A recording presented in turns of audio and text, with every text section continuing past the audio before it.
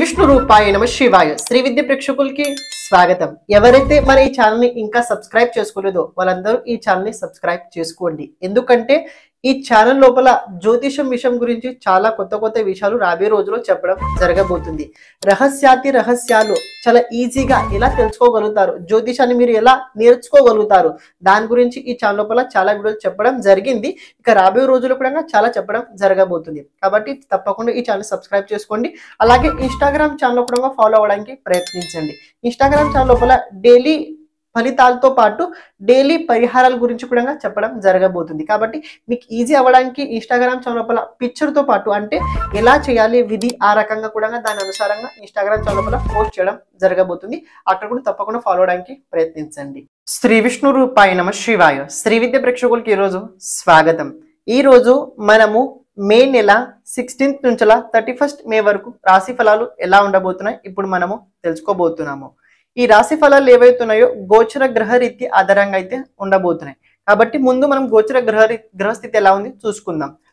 మేష రాశి లోపల బుధుడు ఉండబోతున్నాడు. నైన్టీన్త్ మే వరకు శుక్రుడు కూడా ఉండబోతున్నాడు. నైన్టీన్త్ మే తర్వాత శుక్రుడు వృషభ రాశి లోపల వెళ్ళబోతున్నాడు.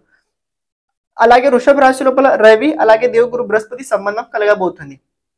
మీన రాశి లోపల కనుక చూసుకున్నట్లయితే రాహు అలాగే కుజ సంయోగం జరుగుతుంది. కుంభ రాశి లోపల శని సంచారం జరుగుతుంది. కేతు కన్యా రాశిలో గోచరం అయితే జరుగుతుంది. ఈ గ్రహస్థితి ఆధారంగా మీకోసం ఈ రాశి ఫలాలు నిర్మితం చేయడం అయితే జరిగింది. ఇక మీకోసం ఎలా ఉండబోతుంది? ఇప్పుడు మనం తెలుసుకుందాం. దానికన్నా ముందు ఒక విషయం ఏంటంటే మీ జాతకంలో కనుక గ్రహస్థితి దశ అంతర్దశ కనుక చాలా అద్భుతంగా చాలా బాగా ఉన్నట్లయితే మీ అనుకూలంగా కనుకున్నట్లయితే గోచరం లోపల చెప్పబోయే కొన్ని ప్రతికూలమైన మాటలు కూడా మీకోసం అవి అనుకూలంగా అయితే ఉండి తీరుతుంటాయి. ఒకవేళ మీ జాతకంలో గ్రహస్థితి సరిగ్గా లేదు కానీ గోచరంలో చెప్పబోయే అనుకూల విషయాలు కూడా ప్రతికూలంగా మారే అవకాశం కూడా ఉంటుంటాయి. అంటే చెప్పాల్సిన ముఖ్య ఉద్దేశం ఏంటంటే జాతకంలో గ్రహస్థితి చూడండి ముందుగా. ఇప్పుడు గోచరం లోపల కొన్ని ముఖ్యమైన గ్రహస్థితి కనుక చూసుకున్నట్లయితే రాహు కేతు అలాగే శని గురు సంయోగం జాతకంలో ఎలా ఉంది చూడండి. అది కనుక సరిగ్గా ఉన్నట్లయితే ఎక్కువ దిగులు పడే అవసరం అయితే లేదు.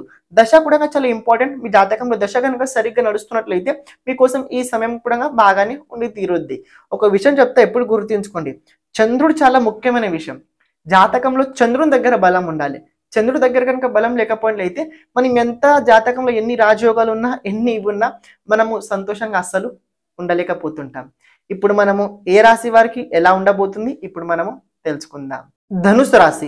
ధనుసు రాశి వారు కనుక చూసుకున్నైతే ప్రస్తుత ఈ సమయకాలం ధనుసు రాశి వారికి గ్రహస్థితి తమరు అనుకూలంగా ఉండడం వల్ల మీ పరిస్థితి అనుకూలంగా ఉండడం వల్ల కాస్త ధనుసు రాశి వారికి కుటుంబ పరంగా పరిస్థితి వదిలేసినట్టయితే మిగతా కార్యక్షేత్రాల లోపల వ్యక్తిగత జీవితం లోపల దాంపత్య జీవితం లోపల అదృష్ట సహకారం లోపల కెరియర్ గురించి అదే రకంగా ఫారిన్ కంట్రీ గురించి ఎవరైతే ఎక్కువ ఆలోచించుతున్నారో అలాంటి వ్యక్తులకి ఈ గోచర సమయం కాలం అనుకూలంగా అని చెప్పుకోవచ్చు.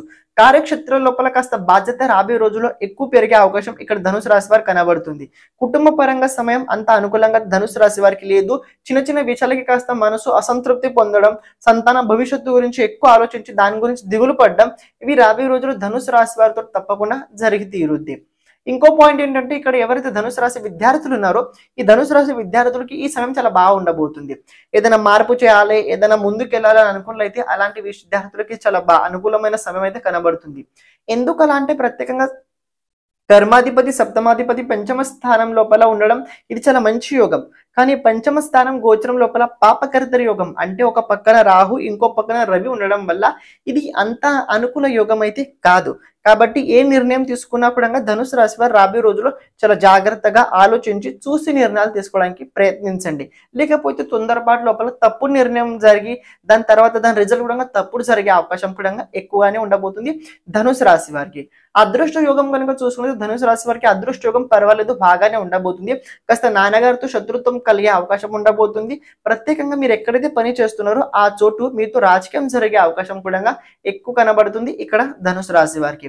ఎలాంటి విషయాల లోపల రాబోయే రోజుల్లో ఇల్లీగల్ పనులు కనుక మీరు చేస్తున్నట్లయితే అందులోపల దొరికిపోయే అవకాశం కూడా ఉండబోతుంది. కాబట్టి నిజాయితీగా సంపాదించే వ్యక్తికి ఈ రాబోయే రోజుల్లో భయపడే అవసరం లేదు. కానీ ఎవరైతే ఇల్లీగల్గా పని చేస్తున్నారో దోపిడీ పని చేస్తున్నారో అలాంటి వాళ్ళు రాబోయే రోజుల్లో కాస్త పెనాల్టీ కావచ్చు శిక్ష కావచ్చు దండన కావచ్చు రాబోయే రోజులు మీకు తప్పకుండా అది కలగబోతుంది. ఇక్కడ ధనుసు రాశి వారికి టూ ప్లస్ పాయింట్స్ ఏదైనా ఉందా అంటే ఒకటి కెరీర్ గురించి ఆలోచించే విద్యార్థులు చాలా బాగుండబోతుంది. రెండోది ఇంటర్నేషనల్ వ్యాపారం అంటే విదేశాల నుంచి ఎవరైతే వ్యాపారం చేస్తున్నారో వాళ్ళకి చాలా బాగుండబోతుంది. ఇక మిగతా అందరి వారికి నార్మల్ గానే ఉండబోతుంది. మరింత దిగులు పడే అవసరం లేదు. మనసు పట్ల నియంత్రణ పెట్టుకోండి. రాహుకేతు సంబంధం చతుర్థ దశమ స్థానంతో ఉండడం వల్ల కాస్త కుటుంబ పరంగా కాస్త ఏంటంటే అనుకునే సరిగ్గా జరగలేకపోవడం వల్ల కాస్త కోపం ఆటోమేటిక్గా పెరుగుతుంటుంటది. కానీ పర్వాలేదు. ప్రతిరోజు విష్ణు సహస్రనామ స్తోత్రాన్ని చదువుకోండి. చాలా చక్కగా చాలా బాగానే తీరుతారు. శ్రీమాత్రే నమ.